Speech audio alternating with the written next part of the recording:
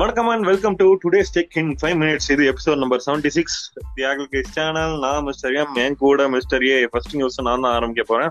First news என்னன்னா apple போன வாரம் தான் பார்த்தோம். ஆப்பிள் வந்து டூ ட்ரில்லியன் டாலர்ஸ் மார்க் வந்து கிராஸ் பண்ணியிருக்காங்கன்ட்டு. அவ்வளோ காசு வச்சு என்ன பண்ணணும்னு தெரியாம இந்தியாவில் வந்து ஸ்டோர் ஆரம்பிக்க போறாங்க. ஃபர்ஸ்ட் வந்து மும்பையில் அதுக்கப்புறம் பெங்களூர்ல ஸ்டோர் ஆரம்பிக்க போறாங்க. கோவிட் டைம்ல பிசிக்கல் ஸ்டோர் ஆரம்பிக்க முடியாதுல்ல. அதனால ஃபர்ஸ்ட் வந்து ஆன்லைன் ஸ்டோர் ஸ்டார்ட் பண்ண போறாங்க இந்தியால ஃபர்ஸ்ட் டைம் இத்தனை வருஷத்துல இப்பதான் ஆப்பிள் வந்து இந்தியாவில் ஆன்லைன் ஸ்டோர் ஓபன் பண்றாங்க. இதுக்கு முன்னாடி வந்து பேடிஎம் கூட பார்ட்னர்ஷிப் பண்ணி வித்துட்டு இருந்தாங்க. அதுக்கப்புறம் அமேசான் பிளிப்கார்ட்லயும் ஃபோன்ஸ் இருக்கும்.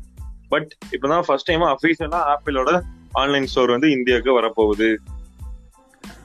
ஓகே என்னோட முதல் நியூஸ் ரியல்மி பட்டை கிளப்பிட்டு இருக்காங்க. அவங்க உண்மையிலேயே ரெட்மி ஷாமியும் மிட்ரேஞ்ச் மார்க்கெட்ல பயங்கரமான டஃப் கொடுக்குறாங்க. சில பல ஏரியாவில் ஓவர் டேக்கும் பண்ணிட்டாங்க. இப்போ அதோட அடுத்த சாம்பிளோ அவங்களோட எக்ஸ் செவன் சீரிஸ் வந்து சைனால கூட அனௌன்ஸ் பண்ணியிருக்காங்க. இன்னும் ஃபோன் ரிலீஸ் ஆகல.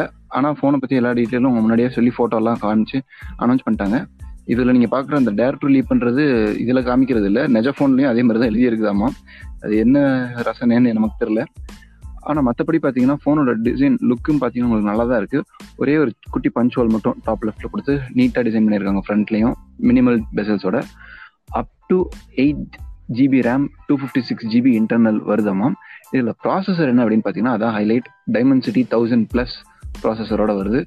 அது போக சிக்ஸ்டி ஃபைவ் வாட் சார்ஜர் வருதாமா அதுவும் இல்லாமல் டாப் மாடலில் ஒன் டுவெண்ட்டி ஹர்ட்ஸ் ரெஃப்ரெஷ் ரேட்டும் வருதுன்றாங்க. இது எல்லாமே ஜஸ்ட் ஒரு வருஷத்துக்கு முன்னாடி ஒரு ஹை அண்ட் ஃபிளாக்ஷிப்ல மட்டும்தான் பார்க்கவே முடியும் அப்படின்ற மாதிரி தனித்தனியா ஃபீச்சர்ஸ் ஹை அண்ட் ஃப்ளாக்ஷிப்பில் கூட இது எல்லா ஃபீச்சரும் சேர்ந்து பார்க்க முடியாது ஒரு வருஷத்துக்கு முன்னாடி. ஆனா இப்போ ஒரு மிட்ரேஞ்ச்லேயே இவ்வளோயும் பார்க்குறோம். பட்டையை கிளப்புறாங்க சூப்பர் தான். அடுத்தது ரொம்ப நாளா குளிக்குள்ள புதஞ்சிருந்த நோக்கி வந்து திரும்ப வந்துட்டாங்க. ஏன்னா எட்டு மாசம் கழிச்சு இந்தியாவில இப்பதான் ஒரு போன் லான்ச் பண்றாங்க. நிறைய பேர் நோக்கியா அப்படிங்கிறவங்க அந்த ஃபேன் பாய்ஸாவது நோக்கியா வாங்கிட்டு இருந்தாங்க. அதுக்கும் வாய்ப்பு இல்லாம இவங்க எட்டு மாசம் கழிச்சு தான் போன் லான்ச் பண்றாங்க. அதுவும் உருப்படியா லான்ச் பண்ணிருக்காங்களான்னு பார்த்தா இல்லை அப்படிங்கறது ஆன்சரா இருக்கு. நோக்கியா ஃபைவ் பாயிண்ட் த்ரீ அப்புறம் சி த்ரீ அப்படின்ற ரெண்டு போன் லான்ச் பண்ணிருக்காங்க. நோக்கியா ஃபைவ் பாயிண்ட் த்ரீ வந்து ஸ்னாப் டிராகன் சிக்ஸ் சிக்ஸ்டி ஃபைவ்ல வருது. இந்த போனை வச்சே ஆல்ரெடி நிறைய ஐ மீன் இந்த ப்ராசர்லயும் நிறைய போன்ஸ் லான்ச் பண்ணாங்க நோக்கியாவே அப்புறம் ஹெச்டி பிளஸ் டிஸ்பிளேல தான் கொடுத்துருக்காங்க. இதுக்கு வந்து பதினாலாயிரம் ரூபாய் பிரைஸ் பண்ணிருக்காங்க. கொஞ்சம் அதிகம் தான். ஒரு பன்னெண்டாயிரம் பதினொன்றாயிரம் அந்த தான் okay starting six four sixty ஃபோருக்கு வந்து பதினோராயிரம் தேர்ட்டி நைன் நைன்டி நைன் அதுக்கப்புறம் சிக்ஸ் சிக்ஸ்டி ஃபோருக்கு வந்து ஃபிஃப்டீன் ஃபைவ் ஹண்ட்ரட் அப்படிங்கிற ப்ரைஸ் வச்சிருக்காங்க. கூட வந்து நோக்கியா சி த்ரீ அப்படின்னு ஒரு பட்ஜெட் ஃபோன் லான்ச் பண்ணியிருக்காங்க இது வந்து யூனிசாக் ப்ராசர்ல லான்ச் பண்ணியிருக்காங்க மற்றபடி சொல்றதுக்கு ஒன்றும் இல்லை. ஏன்னா இது வந்து two GB sixteen GB internal தான். ஸோ இதுவும் சிம்பிளி வேஸ்ட் தான். ஸோ அடுத்த நியூஸ் ஓகே என்னோட அடுத்த நியூஸ் சாம்சங் அவங்களோட ஃபிளாக்ஷிப் ஃபோன்ஸ் நம்ம இப்போ சமீப காலமாக பார்த்துட்டு இருந்திருப்போம் இல்லையா? என்ன அப்படின்னா ஒரு சில ரீஜன்ஸ்ல எக்ஸினாஸ் ப்ராசர் விடுறாங்க ஒரு சில ரீஜன்ஸ்ல ஸ்னாப் டிராகன் விடுறாங்க. எங்களுக்கு மட்டும் ஏன் இந்த மாதிரி பாரபட்சம் பாக்குறீங்கன்னு எக்ஸினாஸ் ரீஜன்ல இருக்கவங்க எல்லாம் கதறாங்க அப்படின்னு அந்த வரிசையில இப்ப இன்னொரு பாரபட்சமும் கண்டுபிடிச்சிருக்காங்க இந்த நோட் டுவெண்ட்டி சீரீஸ்ல நோட் டுவெண்ட்டி லைனப்ல ஒரு சில ஏரியால விற்கிற போன்ல வந்து பாத்தீங்கன்னா ஓபன் பண்ணி பார்க்கும்போது ஹீட் கூலிங் மெத்தடுக்கு வேப்பர் சேம்பர் அதாவது liquid vapour cooling chamber use பண்ணியிருக்காங்க. இன்னும் ஒரு சில இடத்துல இருக்க ஃபோன்ஸ்ல பாத்தீங்கன்னா வெறும் கிராஃபிக் ஷீட்ஸ் தான் யூஸ் பண்ணியிருக்காங்க. அது ஏன்டா இந்த வித்தியாசம் அப்படின்னு கேட்டீங்கன்னா ஒரு அவங்க சொல்றாங்க நாங்க five G millimetre wave use பண்ற இடத்துலலாம் வேப்பர் கூலிங் சேம்பர் யூஸ் பண்ணியிருக்கோம். ஏன்னா மில்லிமீட்டர் வேவ் யூஸ் பண்ற மோடம்ஸ் வந்து இன்னுமே ஹீட் அதிகமாக ஜென்ரேட் பண்ணும் பவர் அதிகமாக இருக்கும் அதனால அதை கூல் டவுன் பண்றதுக்கு வேப்பர் கூலிங் சேம்பர் தேவை. ஆனால் மற்ற ரீஜனில் மில்லிமீட்டர் வேவ் யூஸ் பண்ணாத இடத்துலலாம் வெறும் கிராஃபிக் சீட் தான் வச்சிருக்கோம் அப்படின்றாங்க. ஏன் அந்த இடத்துல வேப்பர் கூலிங் சேம்பர் வச்சா எனக்கு குறைஞ்சா போயிருது. ஒன்னே கால் லட்ச ரூபாய்க்கு விற்கிறாங்களோ ஃபோனு ஒரு நோ லிக்விட் கூலிங் சேம்பர் வைக்க கூடாதா? இந்த மாதிரி பாரபட்சம் பார்க்கறதுக்காக தான் நோட் சீரிஸே முடிச்சு வர போறாங்க. லான்ச் ஆக போற நோட் தான் கடைசி.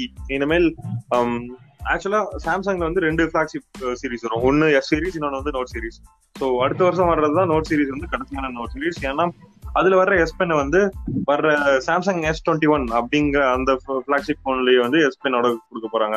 ஸோ அந்த சீரிஸ் அதாவது இயர் எண்ட்ல லான்ச் பண்ண போற பிளாக்ஷிப் சீரிஸ்ல வந்து என்னன்னா ஃபோல்டு கொண்டு வர போறாங்களாமா ஸோ ஃபோல்டு த்ரீ வந்து நோட் கூட லான்ச் ஆகி இனிமேல் நோட்டுங்கிற சீரீஸ் வந்து ஃபோல்டு வந்து டேக் ஓவர் பண்ணிடும் அதுல யூஸ் பண்ணிட்டு இருந்த எஸ் பென் வந்து எஸ் சீரிஸ் ஆஃப் ஃபோன்ஸ்க்கு வந்து கொடுத்துடுறாங்க.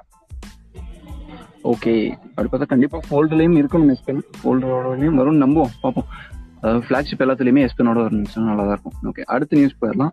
டிஎஸ்எம்சி வேர்ல்ட்லயே இப்போதைக்கு ரொம்ப அதிகமாக சிப்ஸ் ப்ரொடியூஸ் பண்ணி கொடுக்குற கம்பெனி நிறையா வெண்டர்ஸ்க்கு இவங்க பார்த்தீங்கன்னா இப்போ ஆல்ரெடி ஃபைவ் நேனோமீட்டரில் சிப்ஸ் ப்ரிப்பேர் பண்ணுறதுக்கு ரெடி ஆயிட்டோம் அப்படின்னு சொல்லிட்டு தான் இருக்காங்க.